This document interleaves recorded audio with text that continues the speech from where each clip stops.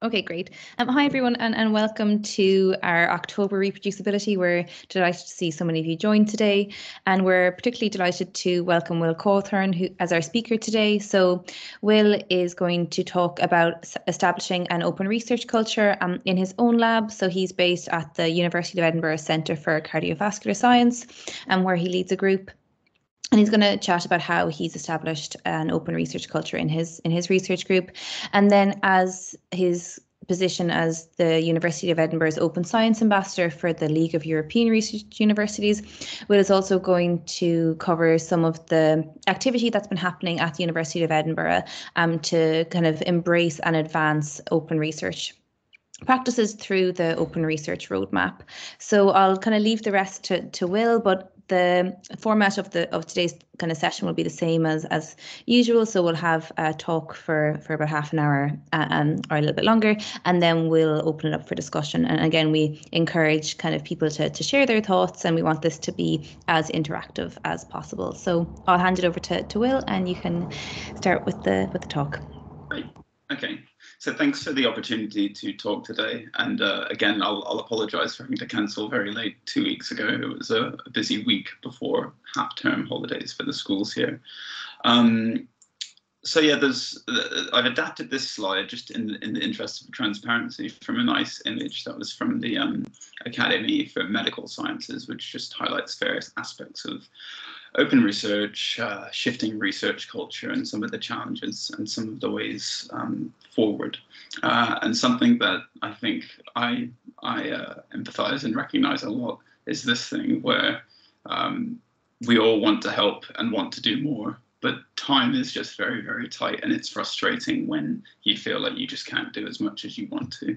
And I think that's that's one of the barriers to um, to implementing more open practices and improving research culture on a bigger level.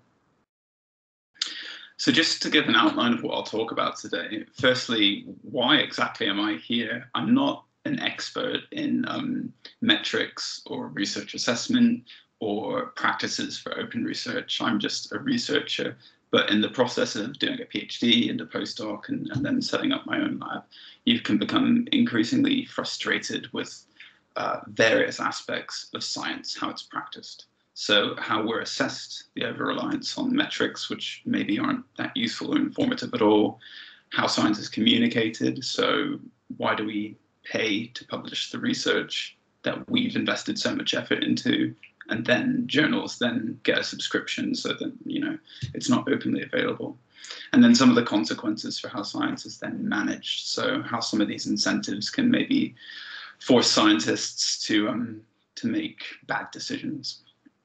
So those are some of the consequences of these uh, these effects. So then, in terms, and I was a bit worried. I, have to say I've been nervous since agreeing to this talk um, because I think people want some concrete steps and advice. If you're a PI, how can you implement open research practices or work to improve research culture? And in planning for this, I was kind of reflecting on what I've actually done. Um, there's lots of things I haven't done. There's lots of things I do that I don't do very well that I'd like to do better.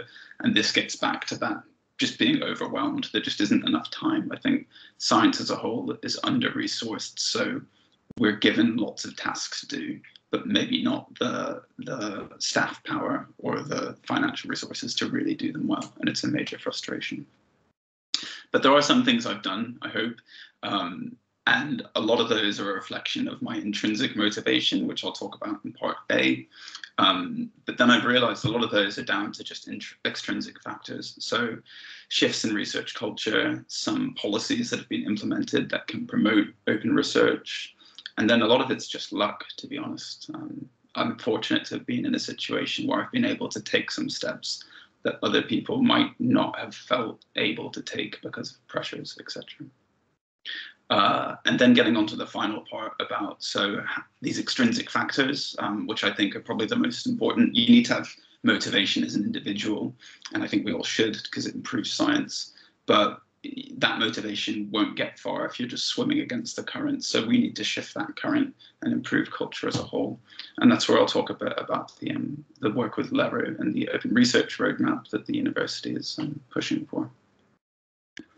Okay, so often if you go and give a talk um, at a conference, you have to have a conflict of interest slide at the first start of the talk. And so I can't see my pointer here. Can you see a pointer? Uh, there we are. Um, and so you think, oh, how, do I work for a company? I've been paid by a pharma company, or do I hold stock and whatever? Um, and you have to tick a box and say what your conflicts of interest are. And if you don't have these, then you say, oh, I've got no conflicts of interests. I'm great and I'm doing things for magnanimous reasons, and none of my research is conflicted. So it must be brilliant. But then if you think about how science is practiced, um, there's this idea that to really advance your career, to get grants, to get promotions, you've got to publish your research in prominent journals. You need to bolster your, your metrics, your H index. This person's got an H index of 175, so they must be really happy with their life. Um, you need to get money to do the, you know, get big grants in, and hopefully then build a big lab. And it just goes in this vicious cycle. So then, you know, now it snowballs. You know, you've got a big lab, so you can do more research, you can publish more, you can build your your uh, metrics, you can get more money, and blah blah blah. It goes on and on. So these cause intrinsic conflicts of interest, just in terms of how science is practiced, because there's sort of a cultural bias towards positive data and shiny new impactful discoveries. Um, negative data, negative sounds bad. Uh, it's a stupid uh, way of referring to data. Uh, I'll get back to that later. Um, you've got to publish high impactful research. So what does that even mean? Uh, impact sounds good, but what is impact? It's usually telling quite a clear story, even though science is rarely so clear. It's usually messy, um, often post hoc, you know, harking, post hoc storytelling. Uh, there's often a, a, practice of you sort of you downplay things that go against that story, even if you're trying to be open and uh, you know progressive with everything. It's very easy to find reasons why oh this data we don't trust it for this reason, but this data that supports my idea that must be must be true. And so then there's this bias towards the interest and the impact of research instead of its reliability. And then finally, there's a trend in science. You know, you get in each discipline you get bandwagons and hot topics and so people tend to jump on those. And um, in my postdoc we often tried to think of like the most contrived paper title that would tick all the boxes for all, all the hot topics things about the microbiome and i don't know using single cell rna sequencing and all this stuff. So do you really have no conflicts of interest? You don't need all this funding, you know, these explicit conflicts of interest, this kind of intrinsic things built into how we practice research that could maybe compromise the outcomes. Um, and so these are all things that I've sort of thought about um, during my my passage along my uh, PhD. I'll just turn my phone off. um, yeah, which have, have, led to this sort of exasperation that I find with um, how research is assessed, the culture, the cult of research assessment, um, a lot of the consequences of the mismeasurement of science and some of these practices. And then thinking about science communication, as I said at the beginning, okay, so we we get taxpayer or charity funding to do our research. We work really hard to try and find some conclusions. We work really hard to write it up and then we go to a journal who we pay to publish it, and then they get other people to pay to access it. Just it's bonkers, like it's totally crazy. Um, but thankfully, that's changing. Okay, so going more into the, this exasperation with research assessment, I gave a talk on this about two years ago, and some of this is taken from that. I realize it's not the key topic of today, but it kind of gets at why we should all be intrinsically motivated to change things. So if you think about when we're assessed as scientists and when our research is assessed, there's various steps. So, you know, most of us probably have applied for a PhD. We've def- maybe defended a PhD, maybe published. Uh, then you go on to job applications, funding, tenure. Maybe you've got tenure and you apply for promotion. So I remember in my PhD, I published one main paper and like one or two, like a review and some smaller co-authorships. Um, and when it came to this question, where should we publish it? uh, my PI was like, oh, we've got to think of the impact factor of the journal. And this, I'm not being disparaging from my PI. She was brilliant um, and very supportive, but that very much was, and to many extents still is, the culture. We've got to think about the impact of the journal. So I was like, well, what does what does this mean? What is the impact factor? I'm not going to go into it too much here. Um, there's loads of literature about how illogical it is, how statistically unsound it is um, the problems of using a journal level metric to assess individual papers and individual researchers. There's a lot on that. But I did, in uh, advance of the talk I gave a few years on this, I had a Twitter poll just because I was curious about other people's perception of the impact factor. Um, and actually, this becoming aware of it during uh, your PhD is, is quite common. Some undergrads now are aware of it. Thankfully, we're not um, uh, you know, trying to convert school children to, to this cult of impact factors. They're blissfully unaware of it. There's probably not many school kids on Twitter as well who are following me, which is good. Um, yeah, but it, it is quite pervasive from an early stage of an academic career, becoming aware of these kinds of things. And then you go further on your career stage, and you know there's a real focus on these high impact journals. What does that mean? if, if your paper is in a high impact journal, does that inherently mean it's really good? Conversely, if it's in a lower journal, does that mean it's worthless or less worthy? No, I don't think so. Um, and then other other ways of assessing this, you know, it's not just impact factor. We've got your H index, how many citations you have overall, how many times has your paper been cited, all of these kinds of things. So is there any evidence that these are actually good ways to assess a researcher uh, in terms of their creativity, their potential contributions, their ability to support students and other researchers? Um, so yeah, there's there was a good talk on this yesterday or two days ago for part of the London Open Science Week. There's many, many metrics out there, and this is not my specialty, but it is certainly a point of interest for me. Um, we like metrics because they give us the this sort of reassuring number. It must be objective, but actually there's a lot of smoke and mirrors around. Okay, so Stephen Curry at Imperial has written a lot about impact factors, and I recommend people read uh, on his previous um, writing about this. Uh, he's, I think he's now the, the head for DORA and implementing that. Um, but basically pointing out that impact factors just from a statistical basis are, are not really defensible defensible um, and yet they persist and so again another poll i did around the, the time two years ago most researchers think that journal level metrics i.e the impact factor are still given the most importance when others assess their quality as a researcher and there's lots of ways you could do point out how absurd this is with analogies so why does this persist? We know that they're not really valid, but it's just this sort of dogmatic persistence. And I think you can make a good analogy with the story of the Emperor's New Clothes. And we see that other researchers talk about them as though they're important. And so you might think hmm, they don't seem like they should be important, but everyone seems to think they're great. Okay, so they must be great. And so just this fallacy just perpetuates. But I think it's important uh, if you hear people, you know, we've signed DORA now as the University of Edinburgh. We should not be talking about these things. Maybe they have some value for journals and for journal editors, but as a researcher, let's just stop talking about them. It's nonsense. So if you do hear people talk about impact factors, just point out that they they shouldn't be.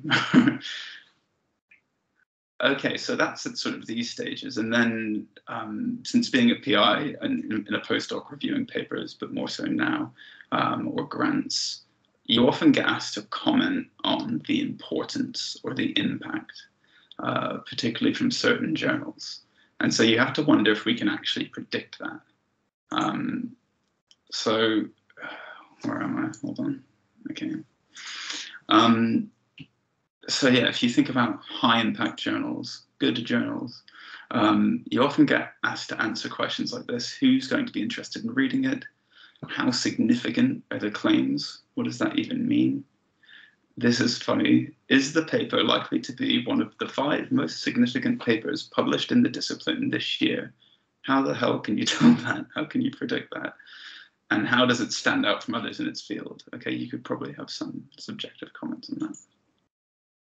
Um, and just this comment again from Stephen Curry that you know you can try and carefully sift and select for the the important, impactful, significant papers, but no one can really do that. There's always going to be things that fall through the gaps, and um, conversely, things that do make it into these journals that turn out not to have much um, importance in the long term.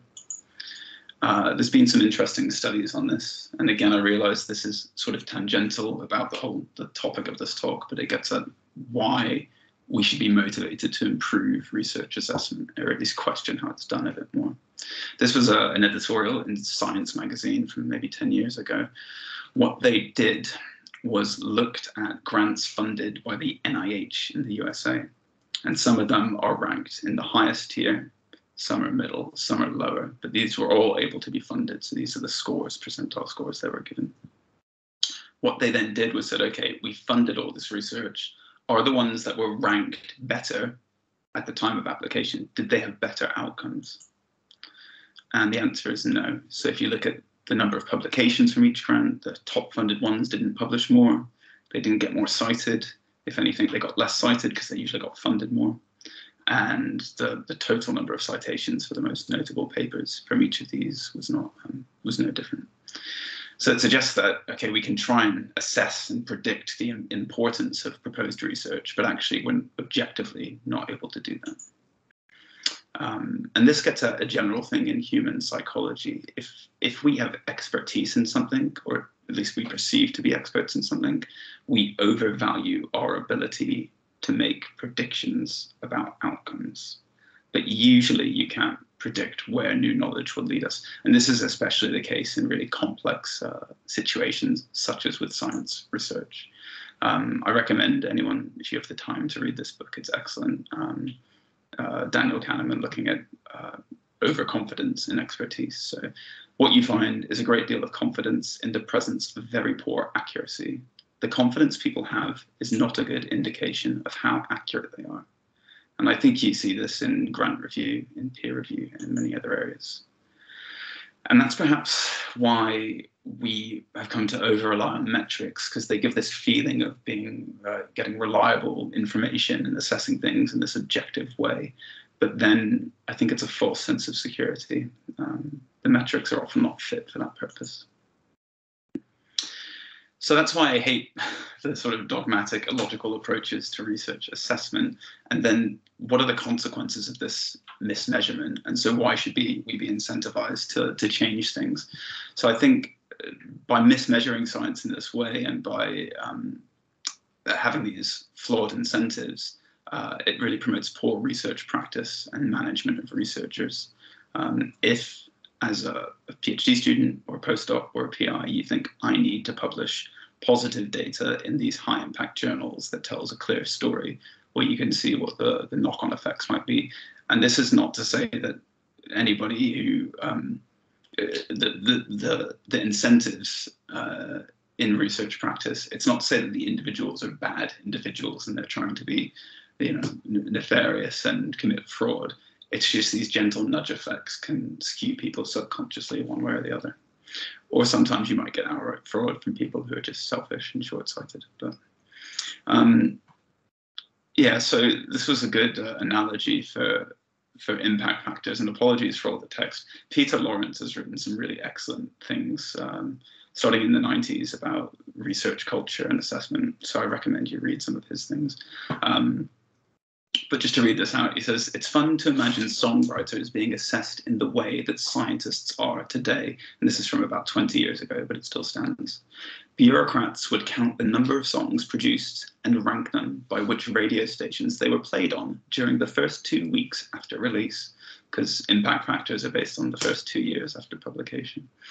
Um, the songwriters would soon find that producing junky Christmas tunes and cozying up to DJs from top stations would advance their careers more than composing proper music.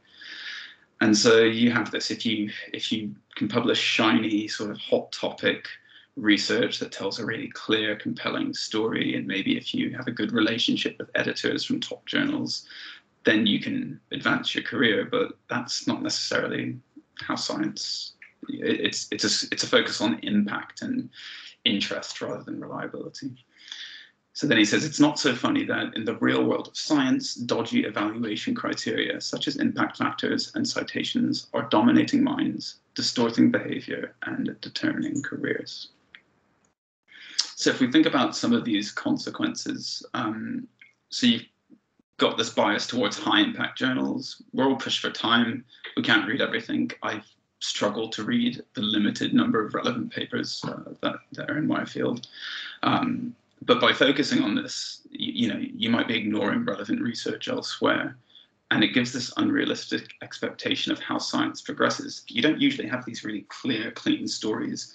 The most evidence might point that way, but other evidence might go against that. And we should be including any evidence that is reliable and not just the ones that support this nice story if we're always chasing these high impact publications, then it's almost guaranteed to delay the publication and the dissemination of knowledge. There's, there's data on this. I've got loads of other slides I could show uh, that show how, um, as you go through rounds of rejection, you're always nudging down this impact factor hierarchy, and it's just slowing things down. And it's just silly. Um, it's this cult of a journal. And I think that then imposes a barrier towards, or it has done, I think this is changing in a major way, but it's imposed a barrier against more innovative publishing methods such as open access. That's definitely changing. But things like registered reports, there's still this um, reluctance of scientists to embrace creativity and new approaches, which is ironic because that's what science should be about. Um, and then potentially it's incentivizing uh, fraudulent or at least sloppy research um, perhaps misconduct in some cases, but otherwise maybe just subconscious bias against uh, just easily accepting the results that you like and maybe questioning or discarding the ones you don't because you can come up with a reason for why they're not valid. And then it also, I think, can discourage the, the pursuit of more risky ideas. Maybe it's easier to propose safer ideas uh, in grant proposals than really pushing the boundaries. Again, I think that's changing in some ways. And this is a major one. I'll talk about this in the next two or three slides. Um, in terms of our motivation and our welfare as scientists, um, at least for me, I can see how should we be assessed? What is a logical way to try and assess a researcher and our research versus how do I feel we're assessed, which just seems so illogical and unfair in many ways and kind of down to random chance. That's a frustrating thing to work against because you feel like you're you're pushing against a barrier that is just uh, Im- immobile and it won't go anywhere. You can get this sense that our research is just a box ticking exercise. The end justifies the means. So the goal should be to publish reliable knowledge and to advance knowledge. But for career progression, etc., it often seems like well, the goal is to publish high impact research. And that's not necessarily the same thing as reliable, robust research.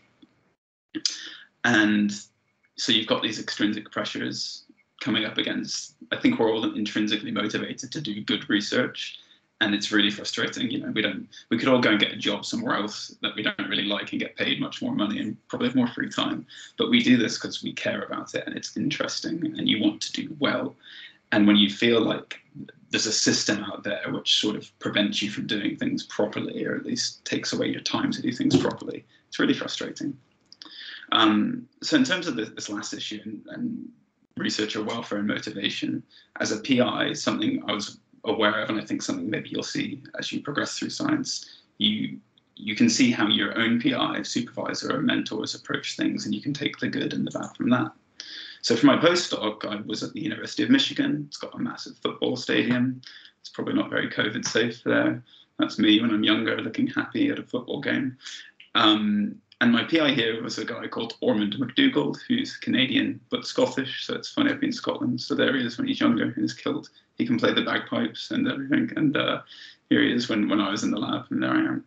And as you can see, we're all very happy, and we generally were. He's a really, really good uh, scientist and just cares about um, not about proving his idea, but just saying, well, we're just trying to find out what's true and we'll just see where that takes us. And so, really, he gave all the people in the lab a lot of freedom to pursue ideas and was pretty flexible and it was certainly a fun place to work and i think that was then something that I wanted to take into my own lab and say, well, I want to give people freedom to pursue things. I don't want to be certainly don't want to be prescriptive.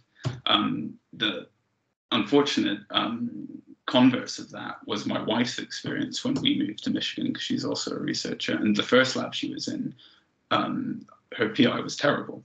And I'm very happy to say that. I won't mention his name, but people probably could find it. I think there's not enough accountability for PIs in research. We have a lot of power, basically, over the PhD students and the postdocs who work in our labs, but there doesn't seem to be much accountability for managing those students and postdocs properly. And that's stupid because that's a key part of uh, a researcher's career is that early stage of their career, not just in terms of their ability to do good research, but to be trained properly to think about the culture of science and how we do things. So, um, yeah, that was a really stark contrast for me where I found myself in a lab where everyone was very happy and it was run really, really well, whereas my wife was in a lab where, um, I, mean, the PI was essentially telling people to go and get this data. Um, it's completely unacceptable. And that can just be crushing as a researcher where you just feel like you're a cog in a machine. You're not there to think and be creative and maybe test new ideas and new avenues. So that's something that I've always taken with me um, and thinking I definitely don't ever want to run a lab like that and tell people that they have to do this and that. Um, yeah. Uh, so that's sort of some of the consequences you can see of, of this mismeasurement and the, the poor research culture that I've been aware of. And then finally, just more quickly, and this is where there's maybe sunnier horizons, is just the, what has been the status quo in science communication, which I mentioned earlier. And thankfully, that's now changing with a real embrace of preprints and open access. Okay, so now that's a really long preamble, and I'll, this will be a much shorter bit. I was aware when I was asked to do the talk about uh, how I've established an open research culture in my lab, and I thought, what have I actually done? I've got this motivation and this experience, and I feel really strongly about it. Um, it's sort of like for those of you who are PhD students or postdocs, a good way of, of doing a PhD would be right at the beginning to write a really in-depth review of your field so you know everything. And many of you maybe have had the chance to do that. But often what happens is you start you start doing a bit of reading, but then you get busy with experiments, and then those can take over. And then sometimes it's not until a year or two later, maybe even when you're writing your thesis, that you start finding things. You think, oh, I really wish I knew this three years ago, um, but I just just been too busy, even at the time. And that's exactly what I think it's been like as a PI, where you can start and you think, right, I'm going to lay this solid foundation for the lab. I'm going to write a manual about the ethos of the lab and the approach and all this stuff.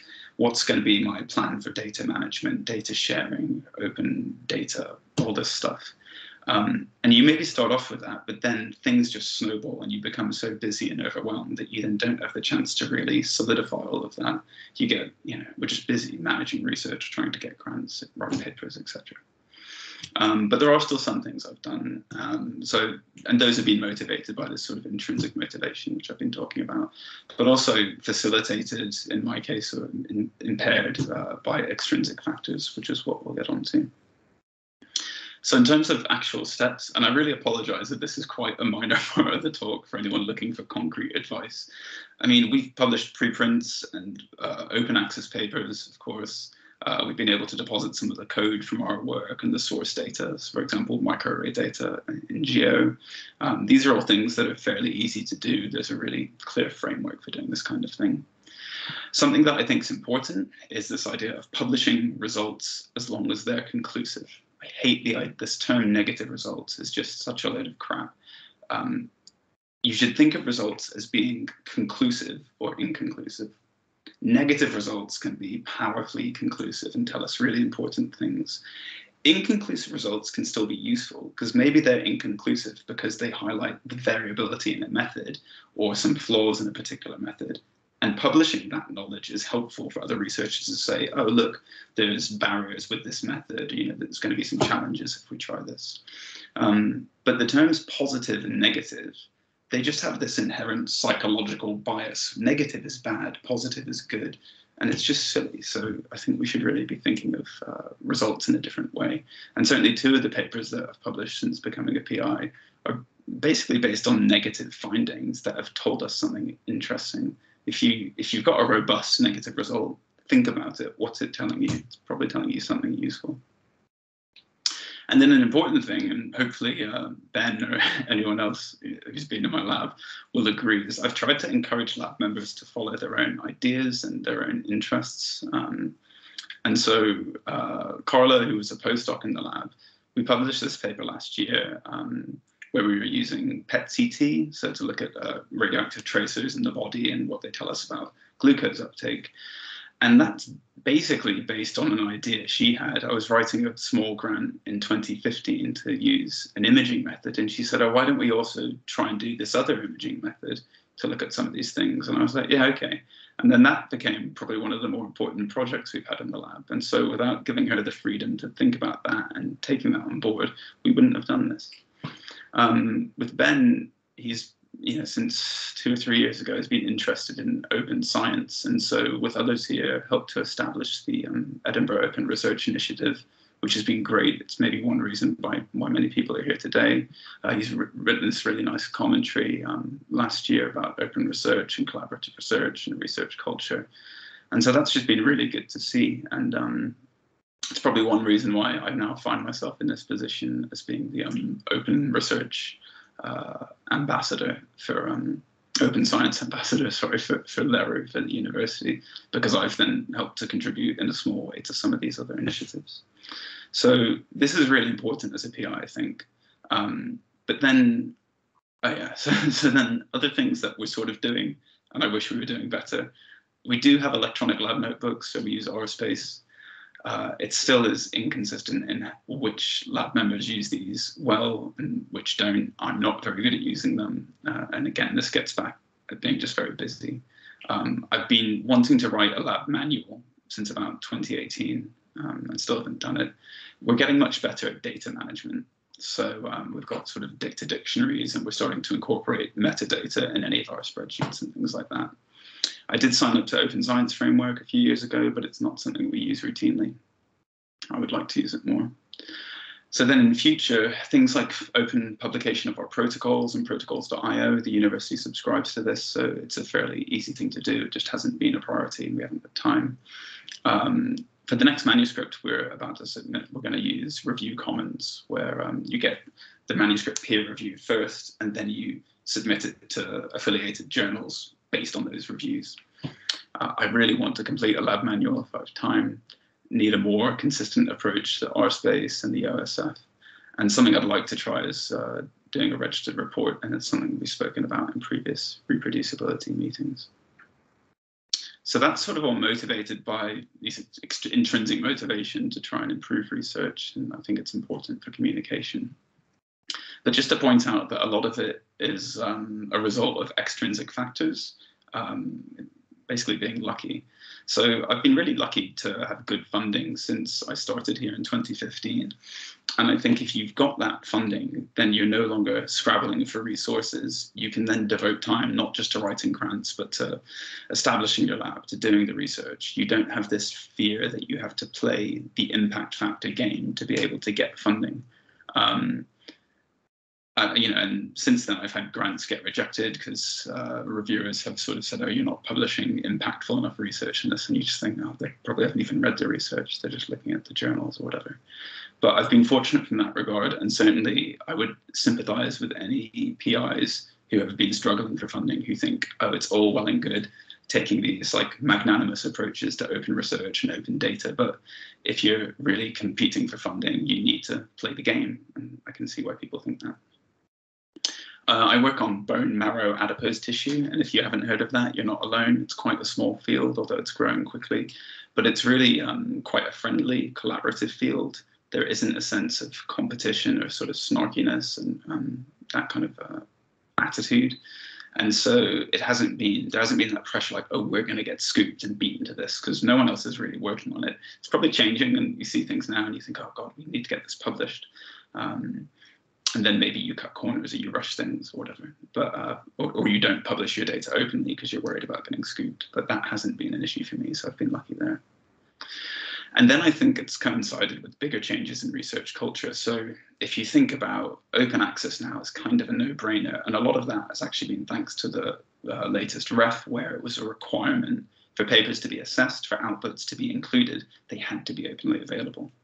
And then we've had the emergence of um, preprint servers, uh, so just two of them there. And I think we've seen, particularly during the COVID pandemic, uh, there's been a real rapid shift to embracing those and to valuing that way of communicating research quickly.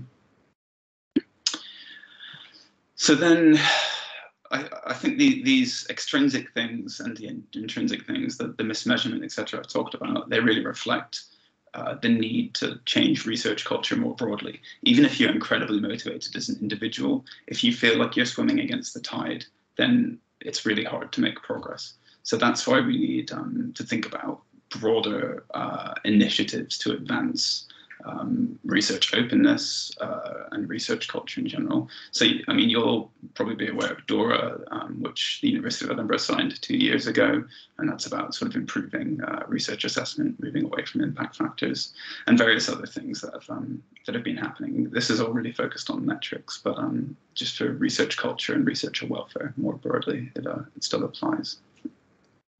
Um, and this is just talking about the, the, the incentives behind uh, the, the, rationale behind DORA and why it was first established um, nearly 10 years ago. Right, and so because I'm very disorganized, uh, the whole bit on LERU, um, look, I didn't even, it's the League of European Research Universities, and so I've actually not even got that right because I was scrambling this morning with, with coffee and children to try and get this together it might just be a time now to to go out of the um, presentation. Although actually, I'll just go on to this. Um, so, I think what I find particularly jarring with science assessment is that it goes against many of the principles of science itself. So, if we're doing practicing science, we want it to be statistically sound and evidence based. We should be challenging dogmas and trying to break new ground and thinking creativity, um, creative solutions. But the way science has been assessed has been none of those things. Impact factors don't make sense statistically. There's no evidence that these ways of assessing researchers leads to better outcomes. It's a very dogmatic approach, but it persists. And if you try and think of more creative solutions, that kind of you're swimming against this dogma. Um, so the future, though, is, is, looking brighter. These things are changing. Um, so we should go back now to LERU and the Open Research Roadmap. I'm just going to I could, I don't, I'm, I'm aware of the time and I don't want to eat up too much time. So I don't know, um, Neve or, or, Laura, if you think we should just go for a discussion, I can go through some of the points for um, LERU and open research, if that would be helpful. Yeah, um, yeah, I don't mind. Um, it's it's kind of entirely up to to you and and, and the audience. Like, mm-hmm. I'm aware that we kind of were. It's twenty to twelve now, so I don't know yeah. if we want if we want to. It'd be better to use this time for a Q&A um, if people want to kind of ask you more specific things about the points you raised. Yeah, uh, yeah. I mean, so I'll just quickly say that LERU basically identified, the, the European Commission identified what are called eight pillars of open research, things around metrics, open access publications, public engagement, lots of things, citizen science. Um, and they proposed a roadmap that its member institutions should adopt and amend according to their own needs and now various institutions, there's 23 major universities in LERU, various of those have um, now published their roadmaps or are working on them. So the University of Edinburgh uh, should be publishing a roadmap soon. There's been some sticking points for things around like um, researcher assessment and promotion. So to what extent should we acknowledge open research practices when we're assessing or promoting researchers? Um, that kind of thing. But it's nearly ready. And um, I think it will be really helpful to have this formal roadmap that makes the university more accountable and also shows an example to researchers and makes them say, hey, this is being recognized. And if I do these things, it won't be a complete waste of time because my efforts there will be acknowledged. So maybe, yeah, we could just go to an open discussion. I don't know if people just want to ask questions or talk about anything. I hope it's been useful-ish because I haven't really given concrete advice about, oh, you should do this as a PI because, uh, yeah. No, it's been really helpful hearing your uh, lived experience as the PI uh, with your own, with yeah, it's the complete picture. So this is exactly what we were hoping for. Thank you so much, Will. I'm just going to stop the recording now so we can move mm -hmm. on to the Q&A. Yeah. Do you want to maybe